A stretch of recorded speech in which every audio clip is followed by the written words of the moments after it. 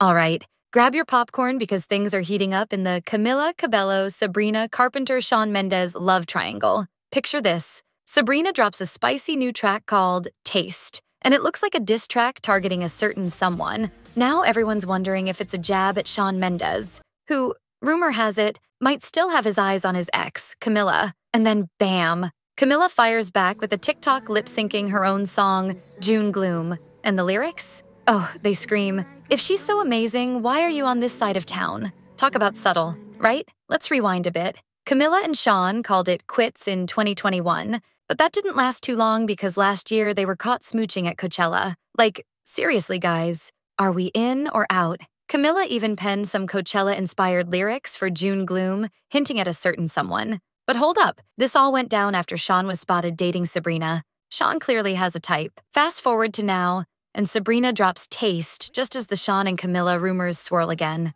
Coincidence? Fans don't think so. Camila's TikTok was like a not so subtle clapback, throwing shade Sabrina's way with lyrics that feel way too pointed to ignore. Sabrina, meanwhile, has been chatting up her new album, short and sweet, saying it's inspired by brief but impactful relationships. Hmm, sounds like a certain Mendes fling to us. So, is this pop feud heating up, or are we reading too much into it? Either way, we're here for the drama, and we can't wait to see what tea spills next.